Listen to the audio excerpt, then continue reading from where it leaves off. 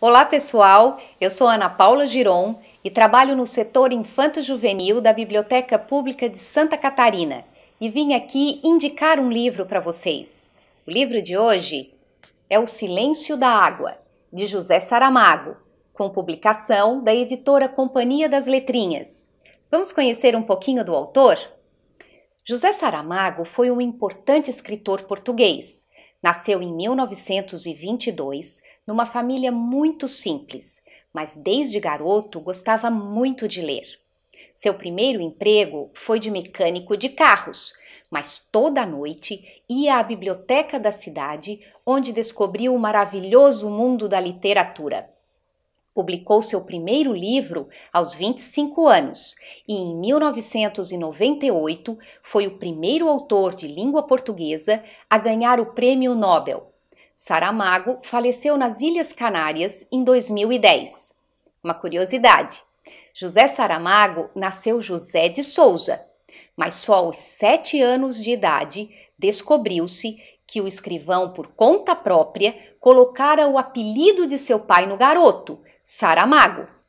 Desde então, ficou conhecido como José Saramago. No livro O Silêncio da Água, o autor nos conta a história de um menino que vai pescar à beira do Tejo onde é surpreendido por um peixe enorme, travando uma grande luta. Mas a linha arrebenta e o peixe escapa. Inconformado, o garoto corre para a casa dos avós para rearmar a vara de pesca e ajustar contas com o monstro. A avó, muito calmamente, pergunta ao garoto se ele acha que o peixe vai estar lá, no mesmo lugar. O garoto nem ouve a sua avó e corre para o mesmo lugar para ajustar contas com o monstro. Será que ele vai encontrar o peixe no mesmo lugar? Ou será que ele vai encontrar apenas o silêncio da água?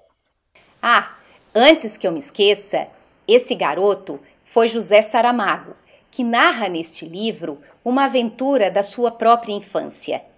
Não deixem de ler este livro, que conta ainda com belíssimas ilustrações de Manuel Estrada, fazendo com que o mistério tome conta da nossa imaginação. Espero que tenham gostado da dica de hoje. Até a próxima!